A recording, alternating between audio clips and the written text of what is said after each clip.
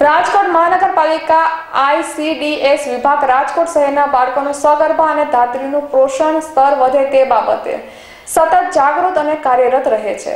આંગણવાડી ખાતે social welfare અને social રિસ્પોન્સિબિલિટીને ધ્યાને રાખીને તથા આંગણવાડીમાં આવતા તમામ બાળકોના પોષણ સ્ટાર પ્રત્યે સામાજિક જાગૃતિ વધે તે હેતુથી તેમજ બાળકોને આંગણવાડીમાં આપવામાં આવતા પૌષ્ટિક ખોરાકની સાથે અન્ય પોષણ શ્રમ, આહાર મળી રહે તે હેતુથી રાજકોટ શહેરની ત્રણસો ને ચોસઠ આંગણવાડી ખાતે તિથિ ભોજન આપવામાં આવે છે.